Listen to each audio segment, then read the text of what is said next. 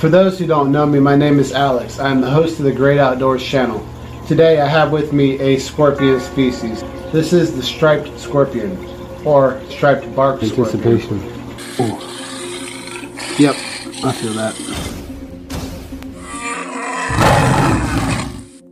It's allegedly reported that there's thousands of stings from this insect a year. However, the sting of this insect is not well documented. Symptoms of this sting range greatly.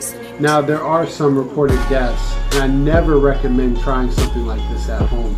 From paresthesia, also known as pins and needles, to muscle cramps, nausea, stomach cramps, localized swelling, as well as shooting pains and tingling, numbness, and in some instances, anaphylactic shock. So I never recommend attempting something like this. Now this species has several different active compounds in their venom. It is a neurotoxic venom. It does affect the nerves. So you may feel shooting pain throughout your nervous system. It can affect the mouth and the tongue. Now this is a small scorpion species at about two and a half inches long. They get up to around four inches long. It is the two-striped scorpion and it can be easily identified by the two lateral stripes going all the way from its head to the base of its tail. I'm going to test the sting of the scorpion today to find out just how painful that actually is.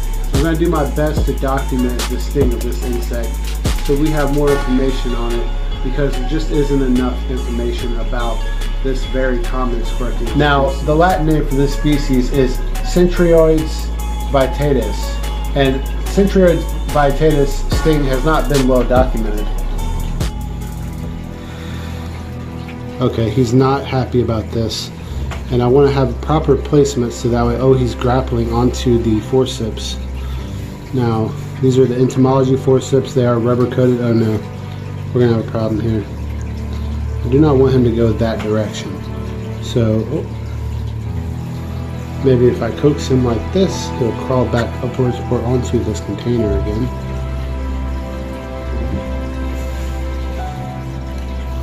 We need to have proper placement in order to receive a sting.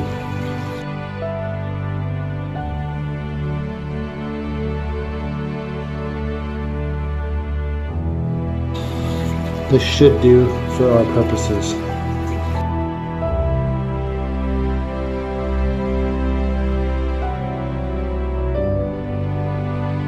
The anticipation. Okay, I felt something already. There you go. Okay, there we go. He's inserted the stinger inside of my skin. Hopefully you can see that. Oh yeah, I feel the burn. Oh yeah. Okay. Stinger actually got somewhat stuck in my skin for a second there.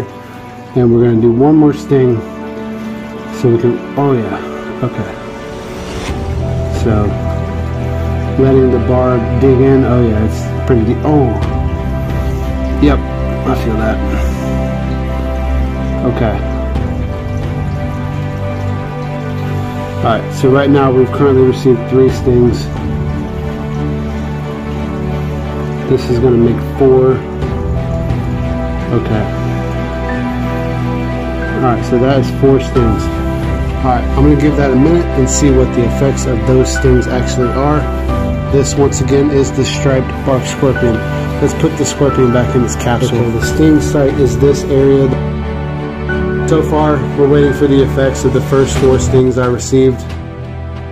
I do not know what the prolonged effects of this sting is going to be, but we're going to have to wait and see what the swelling is, as well as any potential nerve effect or anything. And I can tell you that the sting is progressively getting worse as we go.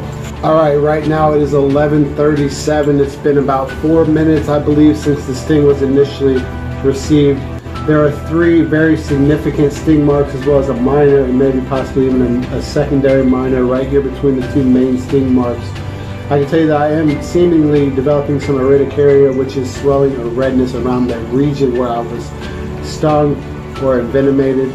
Um, this species right here um, is not deadly in most cases. However, like I said, never do something like this at home because You never know how your body will react to a species venom. Now, different species have different venom. The effects of each venom are different because the consistency and the composition of the venom is different. So we don't know how these venoms are going to affect me because I have to be stung or envenomated to fully understand what the effects of the venom are. So far, I've had no severe reactions. I've never had to use any kind of um, antihistamines to combat a swelling or any kind of a histamine reaction. Pretty um, typical reactions I exhibit when I receive these stings.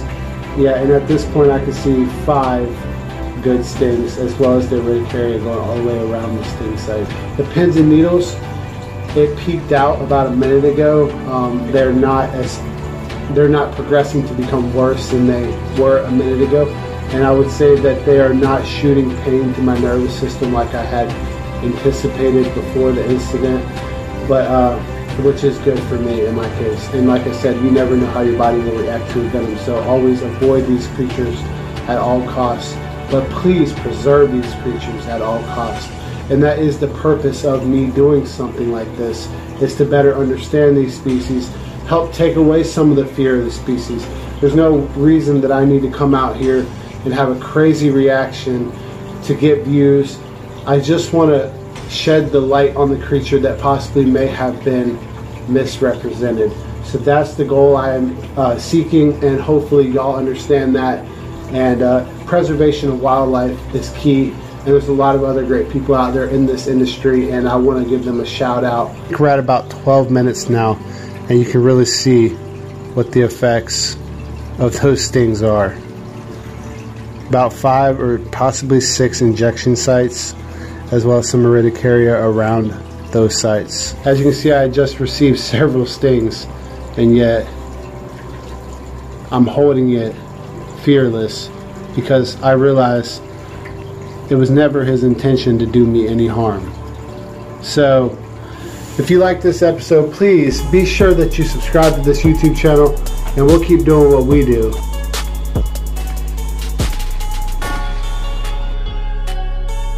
I'm Alex with the Great Outdoors.